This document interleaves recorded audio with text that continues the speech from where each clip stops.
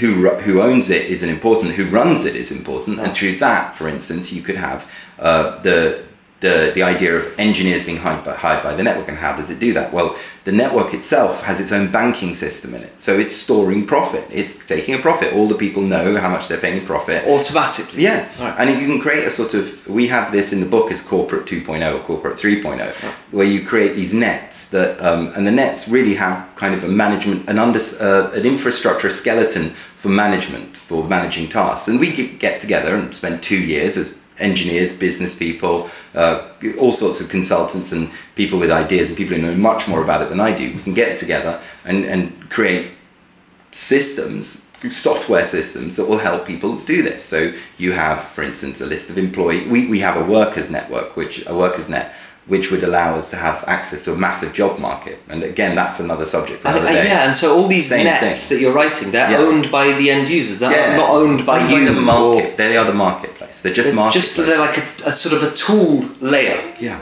Oh, it's amazing, isn't it? It's the wonderful. same the same way you know anyway uh, it, it is wonderful it's a beautiful idea and that's why it's so easy for us to quote unquote sell it to people because it's like you know it's a no-brainer Yeah, it's like you're, you're taking many of the sort of blockages out and just uh, and the technology is performing a function directly just to serve Yeah. as a sub layer. exactly Lovely. rather than it being telling us what to do we tell it what to do we design it and we use it and it's a kind of spring cleaning of the world we've got now everything that's not Yeah. useful out like i don't care if my electricity company has fancy adverts that Yeah. cost you know millions to produce you know and all this marketing and all this work to get our attention these nets don't need your attention they work and they do their job their job is to get electricity uh, to you to your house So are you saying like eventually that this the network itself? So it's a bunch of people I don't know who get together and sort of set it up and um, program it. Mm-hmm. They, they don't own it. They create a decentralized um, application of some sort. Yeah.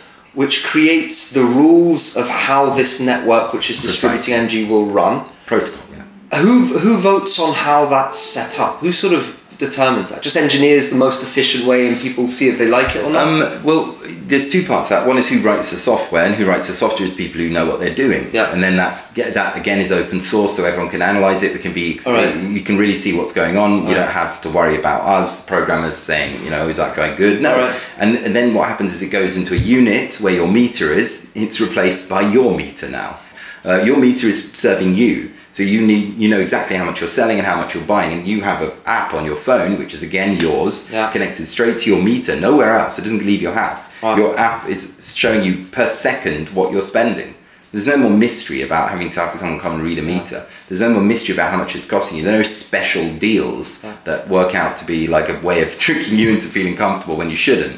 You just see, oh, I'm spending you know five cents a minute here, and you can see it per second, and you can see how much comes back, and you can decide exactly how much goes in and how much goes out. Engineers can come in and shut down your electricity, but because they need to repair something. But that's the reality. I, I don't mind trusting engineers to know what they're doing. Uh-huh. And of course, all of that will be transparent within the net itself, within Yeah. the electrical net, the software part would let you know engineers need to do this, something's going wrong. You know, Yeah. that's the sort of thing it helps manage. And that can be constant voting on every single thing, or you Yeah. can choose to vote never, leave it on auto. You know, Yeah. if the engineers say it's okay, then let them do it.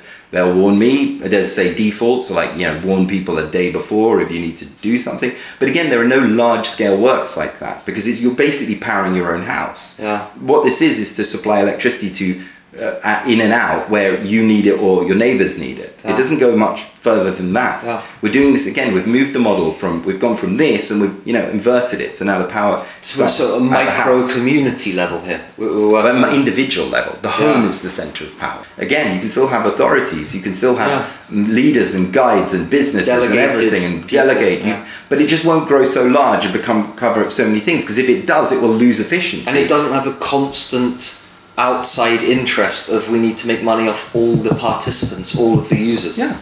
It's incredible.